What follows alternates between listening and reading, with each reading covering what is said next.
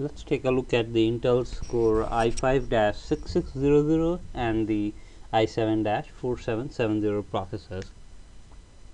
The i5-6600 is the newer Skylake processor launched recently in third quarter 2015. The i7-4770 is a more than two year old processor and called Haswell.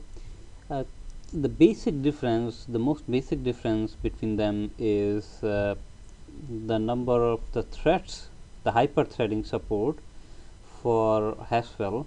It has two hyper-threads for each core and that leads to 15 to 18 percent better performance. If we, as we had assumed that Haswell and Skylake have exactly the same uh, architecture, but again, Skylake of course is slightly better architecture and it's built on the newer 14 nanometer technology.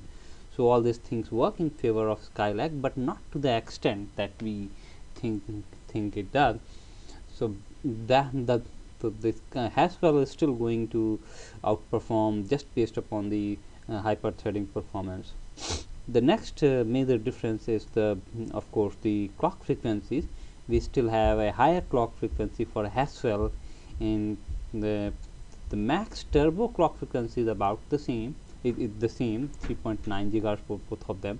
So clock frequency wise it's about it's about the same uh, at, at least as in terms of the max uh, mm, max performance when the frequency ramps up based upon the demand. In terms of the cache memory that's third major difference between these two. We have a higher 8 MB cache memory between Haswell uh, between this uh, 4770 and 6600 so these are the three major differences that's going to uh, create a performance difference between mm, these two processors. Uh, next thing we are going to take uh, there are a couple of more differences. Of course the listed price is also higher for uh, Haswell this $312 versus $224 the price listing for i5-6600 should be accurate but the mm, the 4770 should be slightly cheaper because Intel probably has not updated its price even though this price has, has changed. Uh, of course the, the, the, TDP rating of a Haswell is 84 watts but better than 65 watts of Skylake.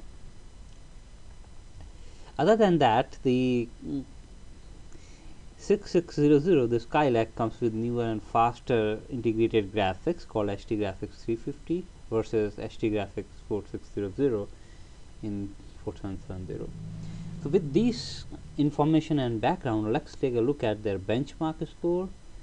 Uh, we have here i7-4770 at 98454 versus the I i5-660 at 738 to about 25% or so performance difference. So i7-4770 is still a good and much better processor than the i5-6600 primarily because it supports hyperthreading, it has higher cache memory and it's, it's slightly better in frequency. Thanks for taking a look.